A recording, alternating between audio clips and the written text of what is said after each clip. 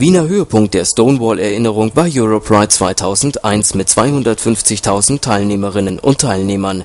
Europride ist die europäische Dachparade, die jedes Jahr in einer anderen Stadt Europas stattfindet. Conny Lichtenegger, damals bekannt als Szenewirtin, und Veit-Georg Schmidt, Buchhändler im Löwenherz, waren Co-Präsidentin und Co-Präsident des austragenden Vereins CSD.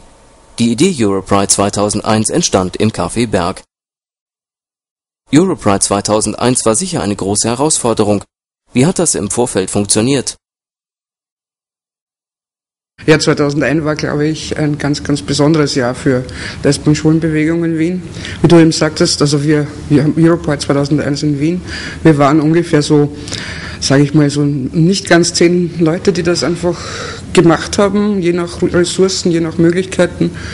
Und ja, ich glaube, das mit, mit doch ziemlich ziemlicher Beachtung international.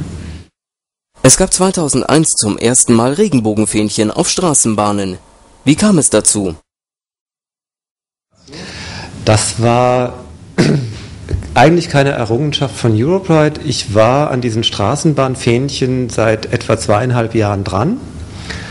Ähm, und hatte halt von den Wiener Linien die Erstauskunft war dann eben zweieinhalb Jahre vorher, hatte ich mir das im Kopf gesetzt und die Erstauskunft war, wir wissen nicht, wie viele Garnituren wir in Betrieb haben und können deswegen auch gar keine Aussage machen, wie das möglich sein soll.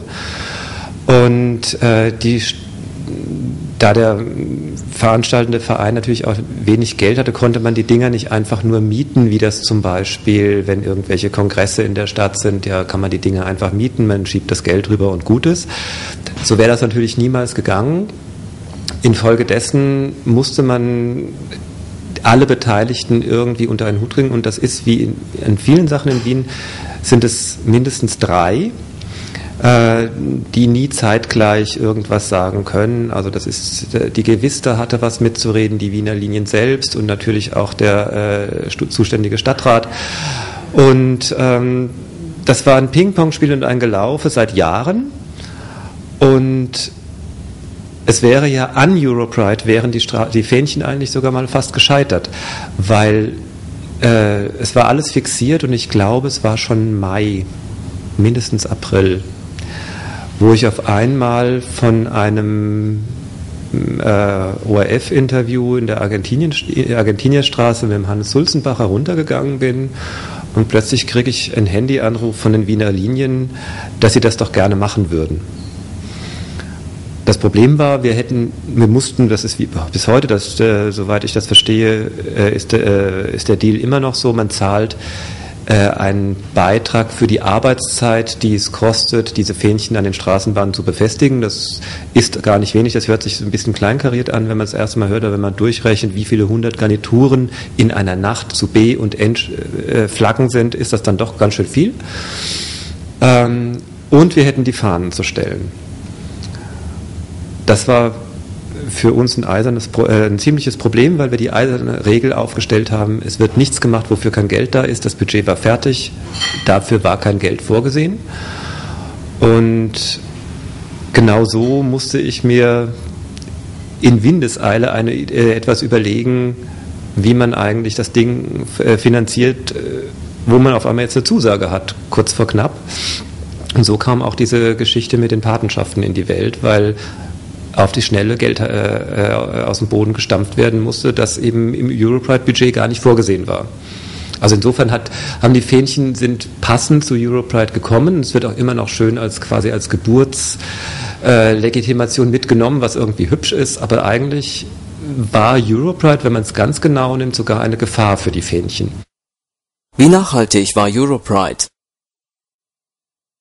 Das ist natürlich auch eine Frage, die mir oft stellen. Also es war sehr nachhaltig, unmittelbar danach. Also was mich sehr, sehr beeindruckt hat, war einfach zu sehen, auch was in Wien möglich ist. Also was mit verschiedenen Vereinen, Organisationen, Initiativen in Wien gemeinsam möglich ist. Also wir hatten ja einen, einen Europride-Monat, das heißt, wir hatten jeden Tag mindestens, also so im Schnitt zwei, drei Veranstaltungen. Und das war gewaltig. Also das, das war etwas, das mich sehr, sehr beeindruckt hat und noch immer sehr rührt, wenn ich daran denke. Aber also die Nachhaltigkeit, ich weiß nicht, warum es nicht blieb irgendwie. Das weiß ich bis heute nicht. Aber es war, also von mir, von meiner Wahrnehmung der Nachhaltigkeit war kaum gegeben. Wie bettet ihr Europride in die Emanzipationsgeschichte ein, insbesondere zu Stonewall 1969? Also ganz wichtig ist, dass man sich immer hm, bewusst macht, dass man, dass wir als VeranstalterInnen von Paraden oder ähnlichen lesbisch-schwulen Aufläufen diese Kontinuität herstellen, diesen Bezug herstellen, den es eigentlich gar nicht gibt. Eigentlich ist, das ist, ist seit über 100 Jahren so, äh, die lesbisch-schwule Emanzipationsgeschichte ist eine Geschichte von Diskontinuitäten, teilweise erzwungenen durch öffentliche, staatliche, gesellschaftliche Repressionen, sei es aber auch einfach dadurch, dass es zu keiner Zeit eine, äh, eine beständige und auch legitimierende repräsentative, äh, repräsentative Struktur gegeben hat. Und insofern sind alle Aktivitäten, die man tut, in einen, in einen gewissen Emanzipationswillen eingebettet und der bezieht sich natürlich auf dieses Highlight 1969 beziehungsweise die erste äh, Demonstration ein Jahr später, aber in, im Sinne einer äh, klassischen äh, Geschichte, die auf Kontinuitäten abzielt, gibt es diese Kontinuität nicht. Also die, weder hat die, äh, die Wiener Regenbogenparade etwas mit den ersten äh, Demonstrationen, die es in Wien von Lesben und Schwulen gegeben hat, zu tun. Im Gegenteil eher fast schon abgrenzend. Äh, noch haben diese Demonstrationen im Sinne einer Kontinuität etwas zu tun, was 1969 und 70 in New York passiert ist. Ähm, es ist äh, immer halt sehr wichtig, dass man diese Bezüge herstellt, um sich selbst die Frage äh, zu stellen und hoffentlich anständig beantworten zu können, warum macht man das eigentlich?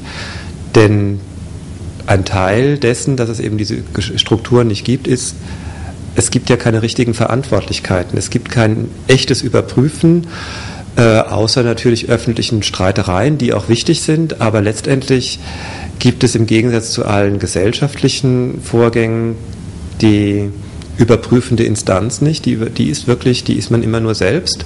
Und insofern ist es auch wichtig, dass man so einen historischen Bezug herstellt, an dem man sich selbst misst.